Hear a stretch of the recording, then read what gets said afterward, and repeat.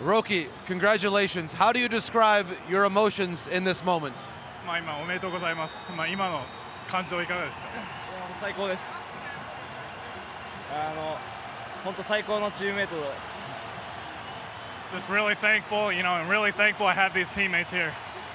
I watched you during the game. You remained on the top step of the dugout right there, watching and cheering on your teammates. How much inspiration did you feel as the game went along?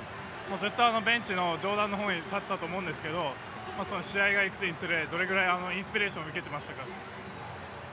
えーまあ、やっぱ3点大きかったので、えー、本当にドキドキしながらもう、まあ、でもチームメート信じて、はい、応援してました。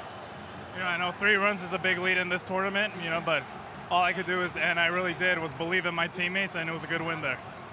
You inspire so many with your story, Roki. How much emotion and pride did you bring to the mound tonight for your country, for your family as well? まあ自分の中ですごい物語があると思うんですけど、まあ国として、まあ自分自分の中で誇りとして、まあマウンドに立った感情はいかがでしたか？えーまあ今日負けられない試合だったので、えーまあその中で。まあ、先制点許してしまったんですけど、はいあのー、なんですかね、えー、自分の、あのー、出せるパフォーマンスを出そうと思って、はい、立ちました。You know, obviously it was a game that I couldn't lose, and you know, I let the first one go, but you know, I, I let it all that I had, so you know, it was a great win there. Final question, Roki. The atmosphere tonight. How proud do you feel of your team and for your country to now be playing for a championship tomorrow evening? まあ、今日のこの球場の環境、観客の声援なども含めて、まあ明日、 えー、優勝、えー、に向けてあの試合にどれぐらい向けどれぐらい誇りを持ってますか、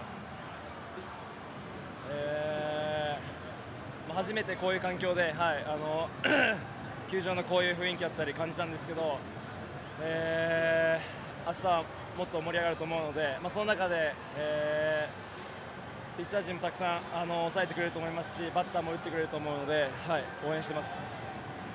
obviously today was a big crowd, but tomorrow I think there's it's going to be an even louder, louder crowd. It's you know, you know, with the pitchers, and I, we're just going to be a big team and just keep it winning. Thank you so much. また今度。Thank you. Thank you, John.